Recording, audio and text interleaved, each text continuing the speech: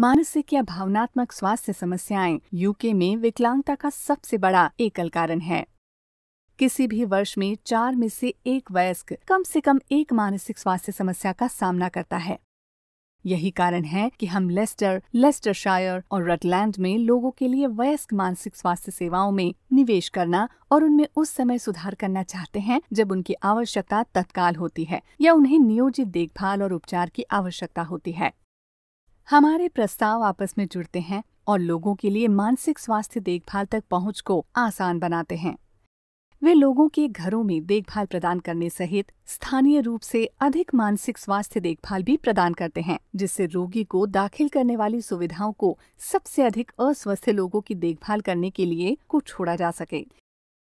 सेवाओं के लिए लंबा इंतज़ार कम हो जाएगा और लोगों को पहली बार में ही बिना किसी अनावश्यक देरी के एक सहज अनुभव प्रदान करते हुए या अपनी कहानी को लगातार दोहराने की आवश्यकता के बिना सही देखभाल मिलेगी। भले ही उन्हें किसी अलग मानसिक स्वास्थ्य सेवा में स्थानांतरित कर दिया जाए।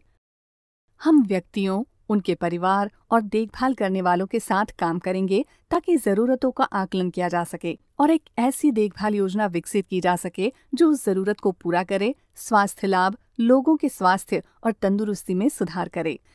हम सुनना चाहते हैं कि हमारी योजनाओं के बारे में आप क्या सोचते हैं। हमारी वेबसाइट पर जाएँ, एक प्रश्नावली पूरी करें और साथ मिलकर हम परिवर्तन ला सकते हैं।